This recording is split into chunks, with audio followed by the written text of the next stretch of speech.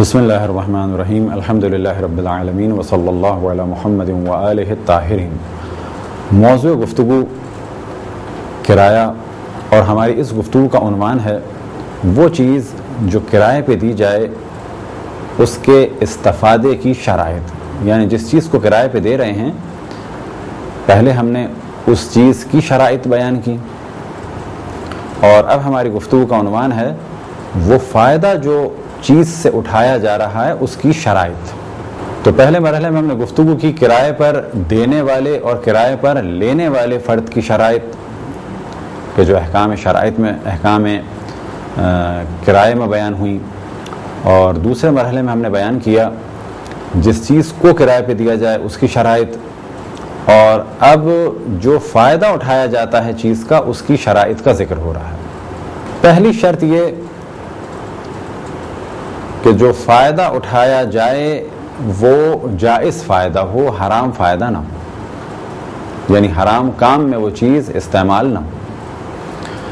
اب یہاں پر بعد میں تفصیل سے گفتگو ہوگی اسی موضوع پر کہ بعض دفعہ ایک چیز کے کئی استعمال ہیں اور بعض دفعہ اس چیز سے حرام استعمال ہو سکتا ہے لیکن وہ لیا حرام کام کے لیے نہیں تھا۔ لہذا پہلی شرط یہ ہے کہ حرام کام کے لیے اس چیز کو کرائے پہ نہ دیا جائے۔ دوسری شرط یہ کہ وہ چیز ایسی نہ ہو کہ جس کا کوئی استعمال ہی نہیں ہے۔ یا بالفاظ دیگر اس کا استعمال بالکل بیکار سا ہے، کوئی حیثیت نہیں ہے اس کی۔ تیسری شرط یہ کہ اگر جس چیز کو کرائے پہ دے رہے ہیں اس کے مختلف فوائد ہیں، تو جس فائدے کے لیے یا جس کام کے لیے اسے کرائے پہ لیا جا رہا ہے، وہ بیان کیا جائے۔ اور چوتھی شرط یہ کہ استفادے کی اور اس پرپس کی مدت کو بیان کیا جائے۔ اب یہاں پر تدریجاً ان چاروں شرائط کے بارے میں توجہ دیتے ہیں۔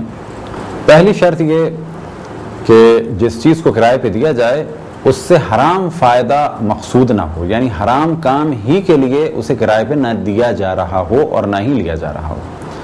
اب یہاں پر تفصیل سے گفتگو کرتے ہیں۔ فرض کریں ایک شخص اپنی دکان یا اپنا گھر کرائے پہ دیتا ہے یا اپنا گوڈاؤن کرائے پہ دیتا ہے کس چیز کے لیے؟ شراب کے لیے۔ اگر وہ گھر کرائے پہ دے رہا ہے شراب بننے کے لیے یا شراب رکھنے کے لیے یا گوڈاؤن کرائے پہ دے رہا ہے شراب اسٹور کرنے کے لیے یا دکان کرائے پہ دے رہا ہے شراب بیچنے کے لیے، اور اسی طریقے سے اور جو مثالیں دی جا سکتی ہیں، ان میں سے کہا جا سکتا ہے، فرض کریں کہ اپنا گھر کرائے پہ دے رہا ہے غیر اسلامی فلموں کی ریکارڈنگ کے لیے، یا اپنی دکان کرائے پہ دے رہا ہے حرام اور غیر اسلامی فلموں کی تشہیر کے لیے یعنی وہاں سے وہ فلمیں بیچی جا رہی ہیں اور پھیلائی جا رہی ہیں۔ تو اس قسم کے کاموں کے لیے گھر کو یا دکان کو یا گوڈاؤن کو یا اسی طریقے سے شراب اٹھانے کے لیے حیوان کو، مثال کے طور پہ کسی کے گھوڑا ہے، وہ کرائے پہ دے، یا گھوڑا گاڑی ہے، وہ کرائے پہ دے شراب کے لیے، یا یہ کہ گاڑی آج کل کے دور میں چاہے وہ ٹرک ہو یا کار ہو، شراب لانے اور لے جانے کے لیے کرائے پہ دے۔ تو اس قسم کے تمام معاملات حرام ہیں، باطل ہیں اور ان سے جو پیسہ ملے گا عوض میں یعنی جو فائدہ حاصل ہوگا وہ فائدہ اٹھانا بھی حرام ہے۔ شراب کی مثال دی جاتی ہے تو اس کے معنی یہ نہیں ہے کہ فقط شراب، اسی میں سور کا گوشت بھی آ جائے گا، اسی میں حرام کھانے، اسی میں آ جائے گا۔ یہ موضوع بھی جو ہم نے پہلے ڈسکس کیا خرید و فروخت کے موضوع میں کہ دشمنان اسلام کو اسلحہ بیچنا حرام ہے یا دشمنان اسلام کو قوت بخشنا حرام ہے۔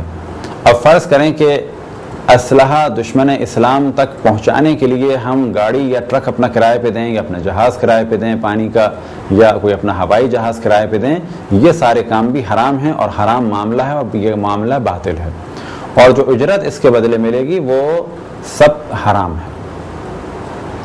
تو گو کے فقہ میں شراب کی مثال دی جاتی ہے، لیکن ہم نے اور مثالیں بھی دے دی سیاسی ادبار سے بھی اسلحے کی مثال دے دی کہ جس میں آج کل اچھے خاصے اسلامی ممالک خصوصاً عرب ممالک شامل ہیں کہ جو کفار اور دشمنان اسلام کی پشپناہی کر رہے ہیں، ان کی مدد کر رہے ہیں اور اکثر جگہ اسلامی تحریکوں کی مخالفت کر رہے ہیں، بلکہ ایسے وہابیوں کی اور ناصبیوں کی مدد کر رہے ہیں کہ جن کا عمل اسلام کی بدنامی کا سبب بن رہا ہے۔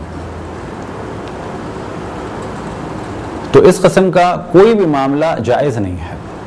اب ایک سوال یہ کیا جا سکتا ہے کہ اگر کسی ایسے شخص کو ہم گھر یا دکان یا کوئی چیز کرائے پہ دیں کہ جو خود شرابی ہو لیکن شراب بنانے کے لیے، رکھنے کے لیے، بیچنے کے لیے اسے استعمال نہ کر رہا ہو، تو کیا ایسے فرد کو مکان یا دکان یا اس قسم کی کوئی چیز کرائے پہ دینا جائز ہے؟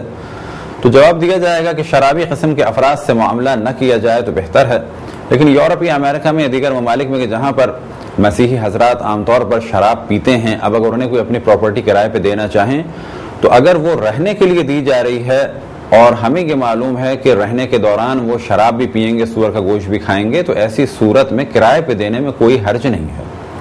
اسی طرح سے پاکستان یا دیگر ممالک میں اگر ہمیں معلوم ہے کہ ہمارے کرایہ دار اس گھر میں ممکن ہے کہ شراب بھی پیے، کیونکہ شرابی ہے یا یہ کہ رقص و موسیقی کا پروگرام گھر میں کرے، تو کیا ایسے افراد کو گھر کرائے پہ دینا جائز ہے؟ تو جواب یہ ملے گا کہ ایسے افراد کو گھر کرائے پہ دینا جائز ہے۔ حرام کب ہے کرائے پہ گھر دینا؟ یا کرائے پہ کوئی چیز دینا کہ جب معلوم ہو کہ یہ اسے حرام ہی میں استعمال کرے گا اور حرام کام کے ہی لیے لے رہا ہے۔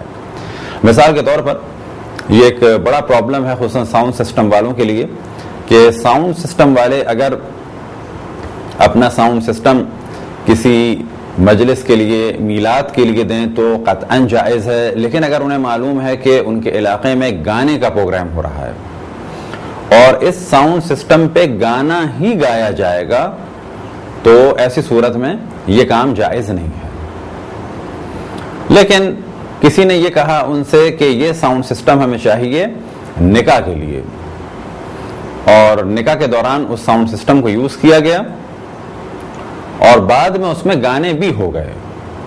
تو اگر دیا تھا ایک نارمل سے کام کے لیے، جائز کام کے لیے اور حرام میں وہ استعمال ہو گیا تو کوئی حرج نہیں، لیکن حرام کام ہی کے لیے دینا کسی چیز کو کرائے پہ وہ جائز نہیں ہے۔ مدت کے بارے میں کچھ گفتگو ہو کہ جو شرائط میں سے ہم نے ایک شرط بیان کی کہ جس چیز کو کرائے پہ دیا جا رہا ہو، اس کی مدت ہو۔ مدت سے کیا مراد؟ یہ کلیئر کرنا پڑے گا ہمیں کہ یہ ایک سال کا کرایہ ہے، یا مہینے کا کرایہ ہے، یا ایک دن کا کرایہ ہے۔ مثال کے طور پہ جرنل پبلک میں اکثر جگہ پر یہ بات بالکل انڈرسٹوڈ ہے کہ گھر کا کرایہ ماہانہ کے حساب سے ہے۔ بعض جگہ ہفتے کے حساب سے بھی ہے اور بعض جگہ سالانہ کرایہ بھی ہے۔ لیکن اگر آپ ہوٹلز وغیرہ میں جائیں اور بعض جگہ پر گھر پینگ گیسٹ کو دیے جاتے ہیں اور اس کا معیار ہوتا ہے چوبیس گھنٹے، ایک دن کا۔ تو کرائے سے پہلے یہ چیز کلیئر ہونی چاہیے کہ یہ گھر آپ مجھے چوبیس گھنٹے کے لیے دے رہے ہیں۔ یہ کلیئر ہونا چاہیے۔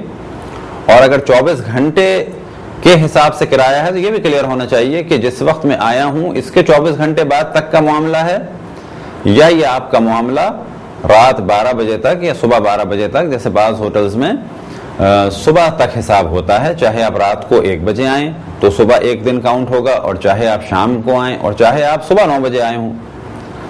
تو یہ ساری چیزیں ڈیسائیڈ کرنا پڑیں گی کرائے پہ دینے والے کو بھی اور کرائے پہ لینے والے کو بھی، تاکہ بعد میں کسی قسم کا پرابلم نہ ہو۔ شرائط میں سے شرط ہم نے بیان کی تھی کہ چیز ایسی نہ ہو کہ جس کے عوض پیسہ دینا بالکل ایک بےحودہ اور فضول کام سمجھا جائے۔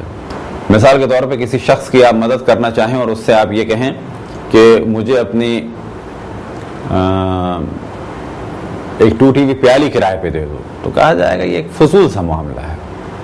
یہاں پر اسے آپ مال کسی اور عنوان سے دے دیں، لیکن یہ کرایہ نہیں مانا جائے گا۔ یہاں پر اگر آپ کو مدد کرنی ہے، تو اس سے کوئی کام لیں کوئی چھوٹا موٹا کام لے لیا یا اسے قرض کے طور پہ دے دیا، یا کسی اور طریقے سے دے دیا ممکن ہے کسی کی نیت کرائے کی ہو، لیکن اسلامی اعتبار سے کرائے کی شرائط ہیں اور انہی شرائط میں سے شرط یہ ہے کہ وہ مال جو کرائے پہ دیا جا رہا ہے وہ ایسا ہو کہ اس کے بدلے قیمت دی جانا اقلا کے نزدیک صحیح ہو۔ بس ٹوٹی ہوئی پیالی یا مثال کے طور پہ ایک پرانے سے جوتے کا کرایہ نہیں ہوتا۔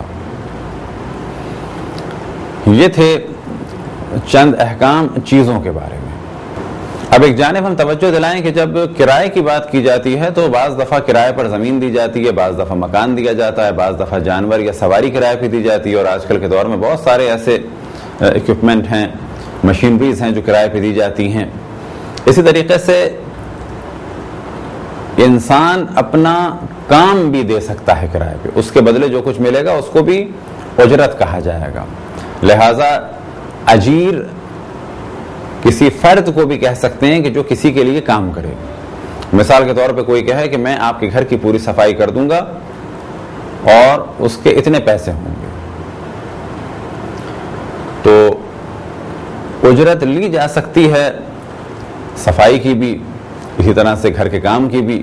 تو یہاں جو معیار ہے اسلام میں، کسی کام کے بدلے کرائے کے پیسے وصول کرنا تو وہاں معیار یہ ہے کہ وہ کام حرام نہ ہو، وہ کام حرام نہ ہو۔ مثال کے طور پہ گانے و بجانے کے بدلے اجرت لے، یا یہ کہے کہ ہم نے اپنے آپ کو اور اپنے پورے میوزیکل بینڈ کو ایک رات کے لیے کرائے پہ دیا۔ کس کام کے لیے؟ گانے اور بجانے اور رقص کے لیے۔ تو یہ کرائے پہ دیا جانا پورے بینڈ کا حرام ہے۔ اسی طرح سے ایک فرد کا اپنے آپ کو کرائے پہ دینا ان کاموں کے لیے یہ بھی حرام ہے۔ یا کوئی اور گناہ ہو تو یہ بھی حرام ہے۔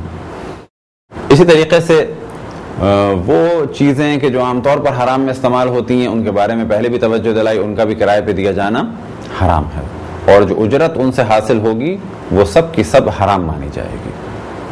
سابقہ دور میں خواتین اجرت لیتی تھیں اور اپنے دودھ پلانے کے اس کام کو کرائے کے طور پر حساب کرتی تھیں اور انہیں کہا جاتا تھا انہیں ہم نے اجیر کیا ہے۔ یعنی انہیں ہم نے کرائے پہ لیا ہے۔ کس کام کے لیے کرائے پہ لیا ہے؟ کہ یہ ہمارے بچے کو دودھ پلائیں۔ تو یہ عرب معاشرے میں اور اس کے علاوہ تقریباً تمام دنیا میں جس زمانے میں ماؤں کے دودھ کا پرابلم ہوتا تھا اور دوسرا کسی قسم کا دودھ نہیں تھا اس زمانے میں، یا اگر دودھ تھا تو وہ بچوں کے لیے عام طور پر نقصان دہ ہوتا تھا۔ تو جب بھی ماں کو بچے کے لیے دودھ کا پرابلم ہوتا تھا تو خواتین کو اس کام کے لیے منتخب کیا جاتا تھا۔ تو اسلامی روایات میں اور کتب فقی میں عموماً دودھ پلانے کے لیے بھی لفظ اجیر استعمال ہوا ہے اور اسی طرح گھر کے کام کے لیے، کاج کے لیے۔ تو عموماً آج کے دور میں ان کاموں کے لیے کرایہ نہیں کہا جاتا، بلکہ کہا جاتا ہے کہ یہ نوکری کر رہے ہیں۔ تو فقی اعتبار سے کیونکہ لفظ اجیر استعمال ہوا ہے ان افراد کے لیے، تو یہ ہم نے مختصر سا ذکر کر دیا کہ افراد اپنے آپ کو بھی کرائے پہ دے سکتے ہیں، البتہ کسی جائز کام کے لیے۔ کام معین ہو، وقت معین ہو، فرد معین ہو۔ مثال کے طور پہ کسی فرد کو ہم نے اپنے گھر کے لیے لیا تو کسی اور کے حوالے نہیں کر سکتے، اگر پہلے سے قرارداد یہ تھی کہ میں صرف آپ ہی کا کام کروں گا۔ لیکن اگر قرارداد یہ تھی کہ میں آپ کے لیے بھی کام کر سکتا ہوں، کسی اور کے لیے بھی کام کر سکتا ہوں، تو ایسی صورت میں کسی قسم کا کوئی حرج نہیں ہے۔